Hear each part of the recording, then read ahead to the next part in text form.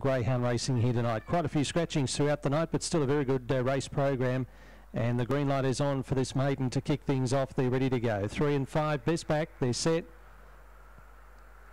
Ready and away. Now walking out, Dr. Da Vinci missed it by six and Beers on Brady, the first starter, straight through to lead. Trouble back in the field there. Check slightly big unit also. Miss Monster, Akina Blaze in bother, and this one got away.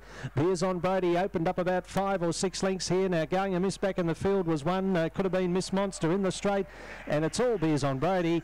Very impressive debut to score by six or seven. Second to Shanlin Spot. Anyone's guess for third. We've got Absolute Pinakina Blaze, Dr. Da Vinci. It did get pretty rough uh, during the race. Back in the field was B, the Queen, cops some trouble. Well, back in the race too uh, would have been uh, Absolute Pin if not mentioned. And the one that's uh, gone a miss on the corner, unfortunately, was Miss Monster in 22.65.